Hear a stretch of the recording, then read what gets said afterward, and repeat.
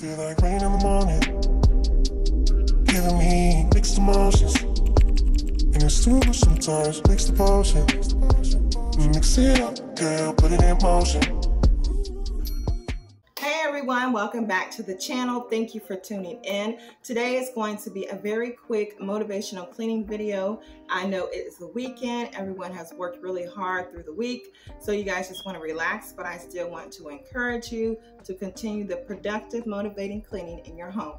So today on the list, I made a to-do list. It is going to be cleaning the mirrors, cleaning the windows, cleaning the doors in apartments, and also just mopping the front room floor. So I hope this is enough motivational cleaning for you guys to continue to use in your home. So we're gonna quit rambling and we're gonna get started. All right, let's go you guys.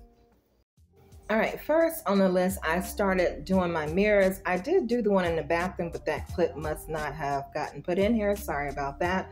But this is the one in my front room, the smaller size. Then I went to the larger mirror that I have. Before I start cleaning that, I went ahead and dusted off the shelf because it was dusty.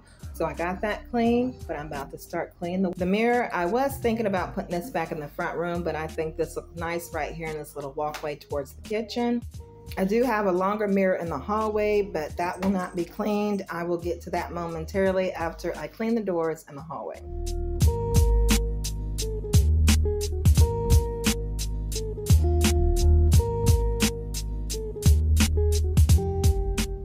Thankful that I did this this weekend because I was worn out from doing my laundry motivation yesterday.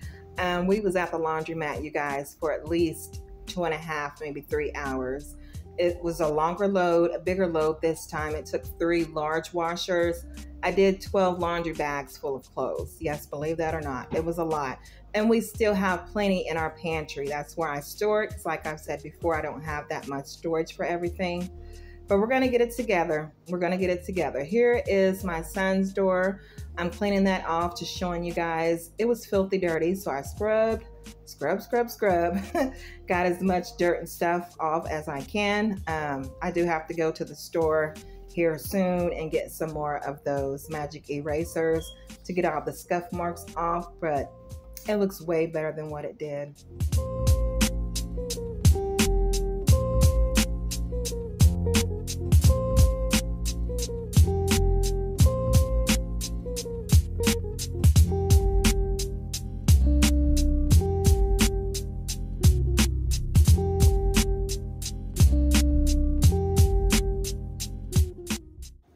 So now I have made it into my hallway by the front and side door. This is my daughter's bedroom door. I'm going ahead and clean that off. The same process. Need some magic erasers for this door also. The front door was really the worst one. I just don't understand how scuff marks get on there, but it is what it is. We'll get it taken care of. But yeah, that's all I'm doing right now. And then after I do the front door, this is where I honestly forgot to clean the mirror, so I'll be doing that next.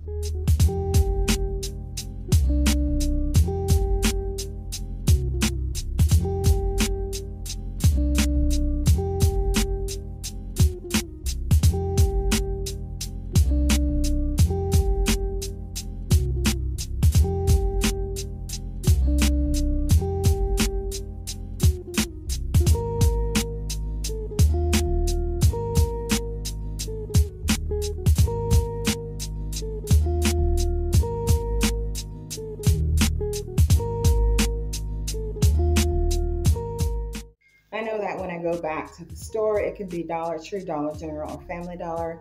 I need to pick up some magic erasers because a lot of these doors have scuff marks on them that won't come off. But yeah, are you guys like that?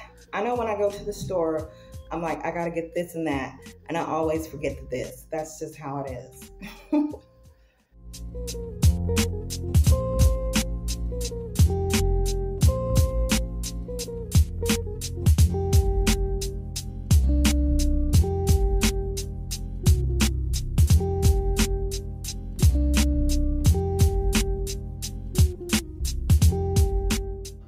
right, we are down to this only window that we have in the hallway. So I'm getting that clean. This one was very filthy. Actually, all the windows was really, really dirty. So I was trying to get up to the smaller windows that they have on the top, which I'm too short for that, but I tried my best. And the ledge part was just very filthy. And also, I do apologize for the lighting, but we do have two lights, you know, connected in the hallway, but they're the yellow lights and they're very dull and dim. So now I'm in the front room doing the same process. Um, I had my light on, try to open all the windows, same situation, but we're going ahead getting it cleaned. I'm, like I've said before, glad that I've got this done. And, you know, I know a lot of you guys feel like sometimes cleaning is overrated and you're just probably overwhelmed and overworked and tired of doing it. But it is a purposeful situation. It's a purpose, purposeful step that you need to take in your life. Not only does it refresh your home, it also helps with your mental health. And it's just an overall good thing to really do. You don't have to constantly do it, but as long as you're trying to do something around your home.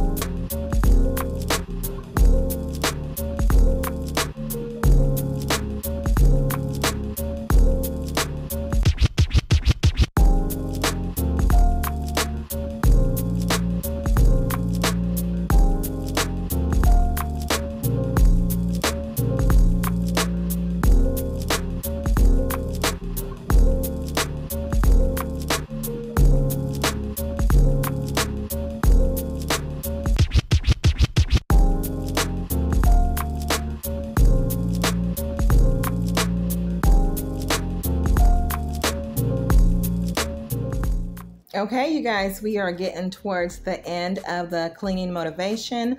I hope this helped you. I hope I am able to encourage you to still go around your home, areas in your home, and take a look and see what needs to be cleaned ASAP and start working on those projects. I appreciate each and every one of you.